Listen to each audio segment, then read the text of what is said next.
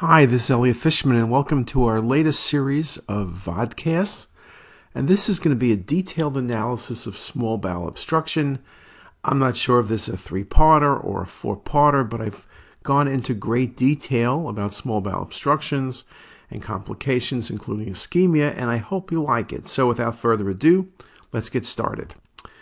When you think about small bowel obstruction, it's something that we all see on a daily basis whether it's to rule out small bowel obstruction, to evaluate the extent of small bowel obstruction. And at the end of the day, what you're really trying to decide is this patient going to be managed conservatively or more aggressively? Is this patient going to be discharged or is this patient going to be admitted to the hospital? The concern of small bowel obstruction, of course, is the potential for intestinal ischemia. CT is the study of choice for looking at the small bowel because we can look at the bowel, we can look at the mesentery, we can look at the mesenteric vessels, we can look for thrombus or stenosis, we can look at obstruction, and if there is obstruction, what's the cause? Where is the obstruction? Is it an adhesive band? Is it a hernia? Is it a tumor? Is it an inflammatory disease?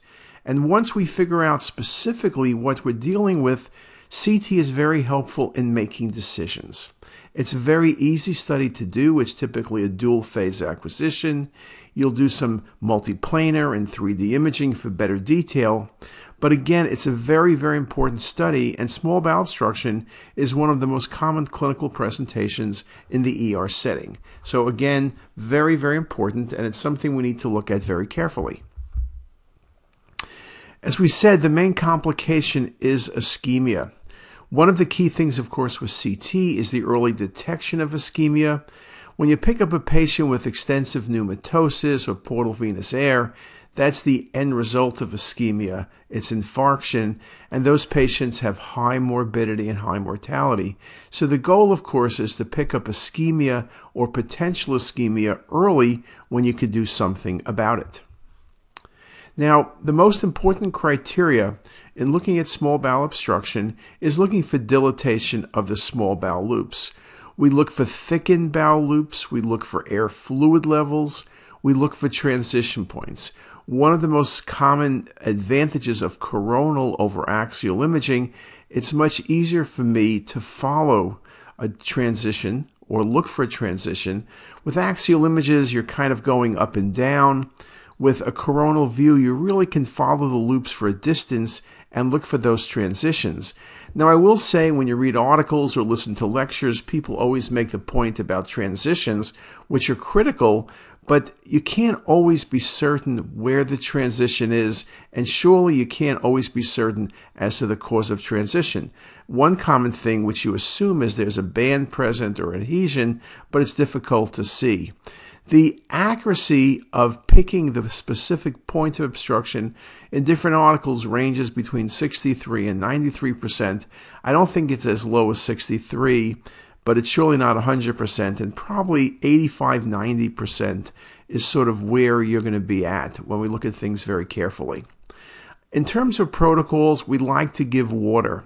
Now, the truth is, if the patient does have obstructed bowel, the bowel is distended with fluid, and so that fluid really is good enough. But we use water. We typically don't use positive contrast material unless you are looking for a site of leak, which is a little bit different scenario.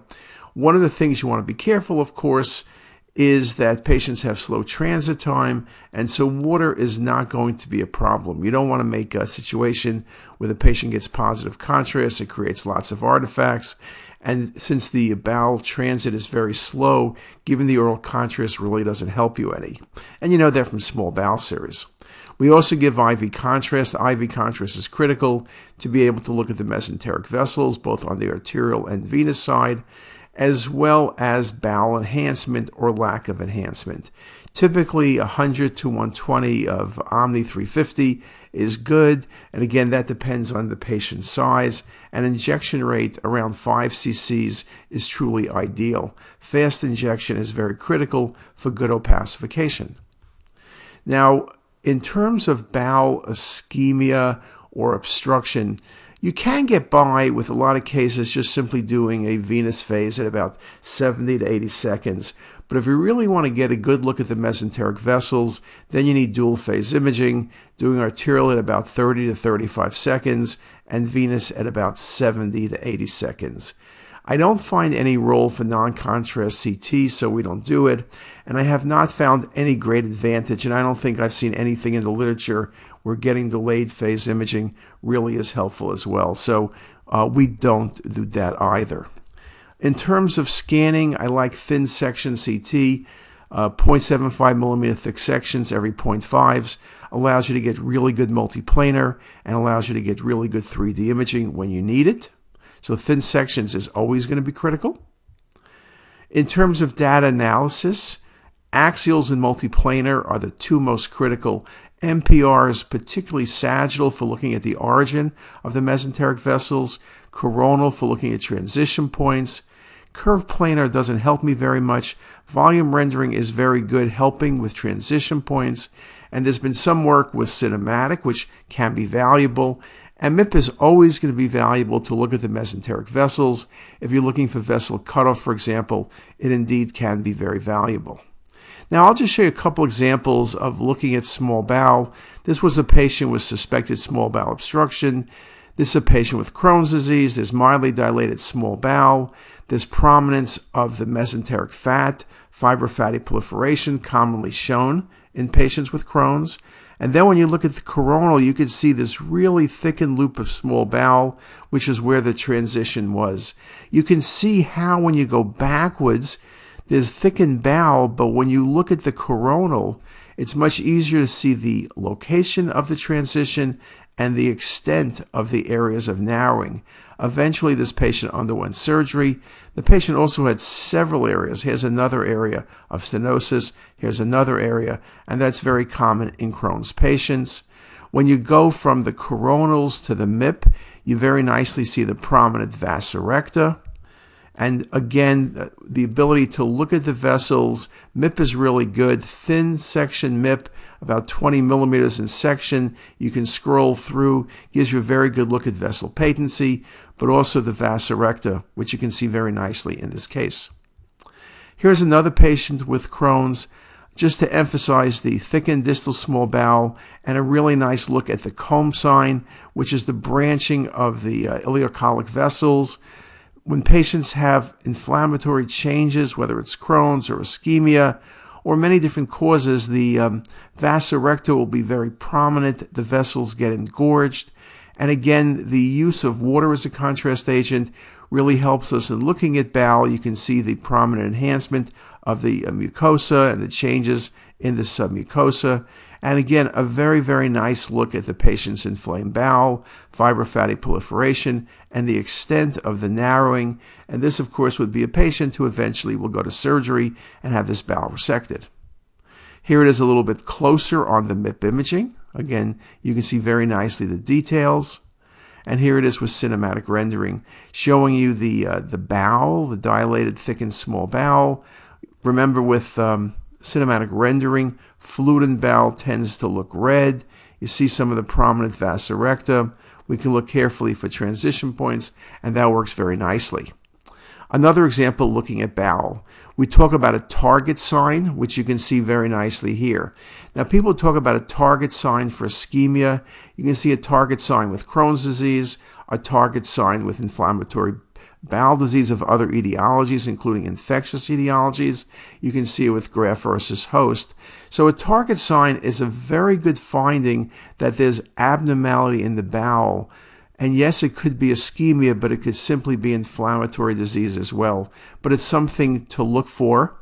And again, the extent of bowel involvement, particularly when you're looking at transition points, when you're looking at extent of disease, Here's a patient where in the coronal you can see very extensive disease, but when you go to the MIP, the prominent vasa recta showing you the involvement, and then in volume rendering, which shows you both the inflamed bowel as well as the prominence of the mesenteric vessels. So again, something very, very important and works out very nicely in clinical practice.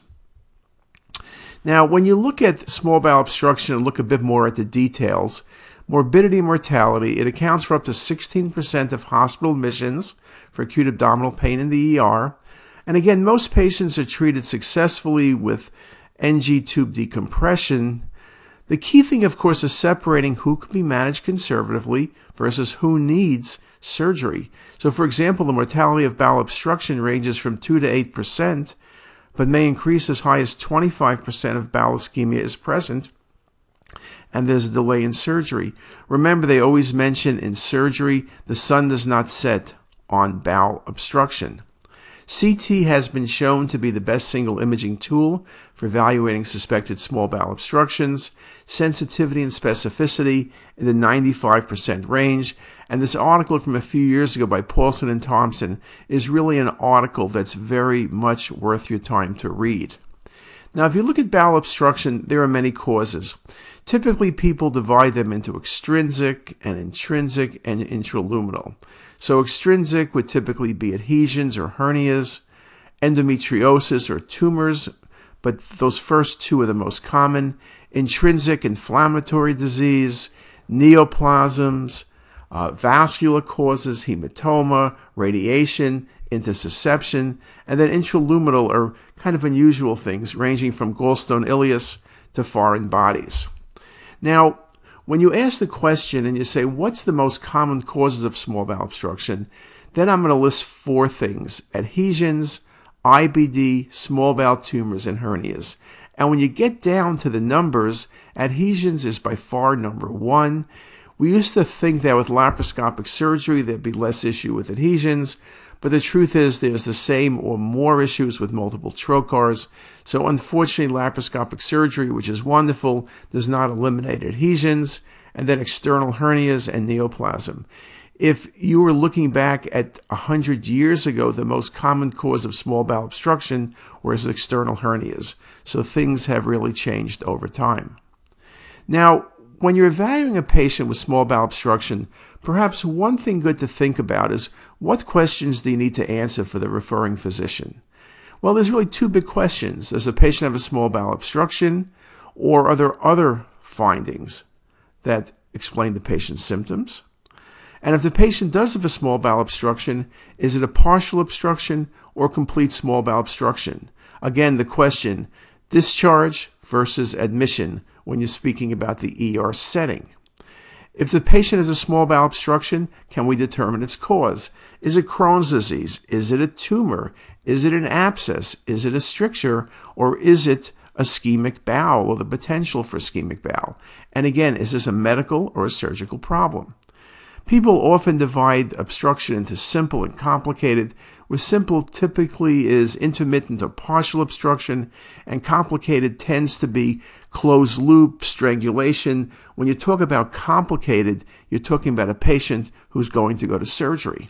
Remember, if surgery is delayed more than 24 hours, mortality is up to 25%, while early intervention it's as low as 1%. But with untreated strangulation, it's 100%. So again, patient survival depends on you making an early diagnosis.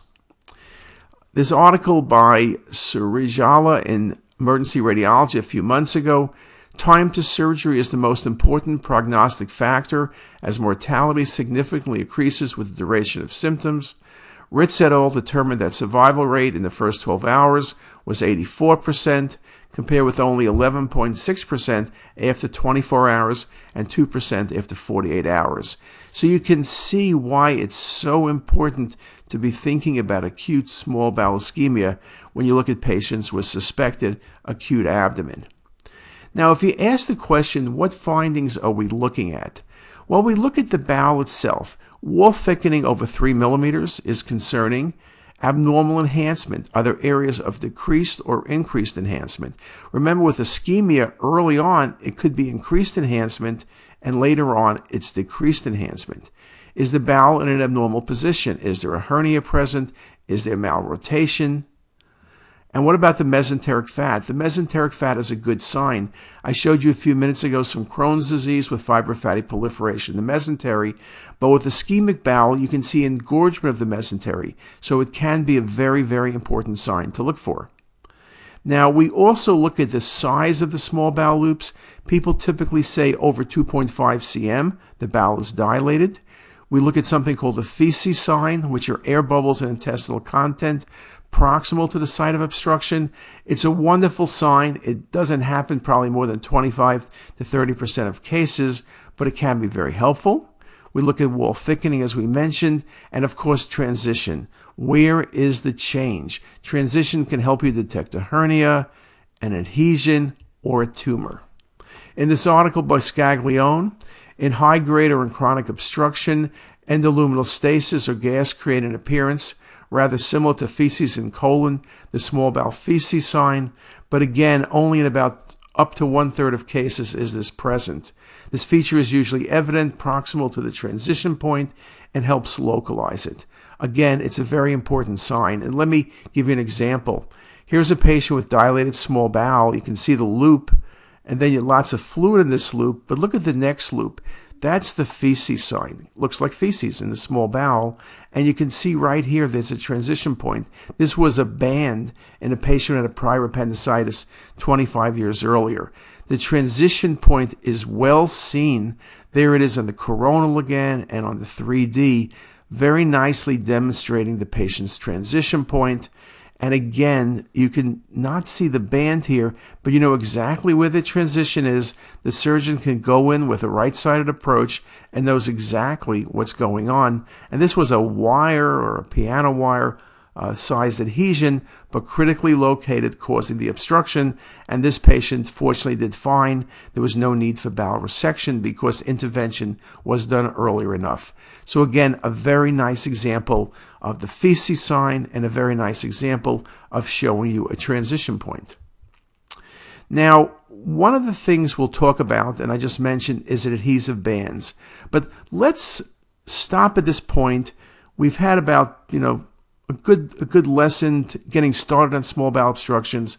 Let's stop here, get a cup of coffee, and come back. And I'll see you in a few minutes. If you like this video, make sure to subscribe to the CTisus YouTube channel. You can also visit us at ctisus.com for even more videos, plus quizzes, pearls, protocols, and oh so much more. We're also in the App Store and have well over a dozen apps for iPhone and iPad, all completely free. Thanks for watching.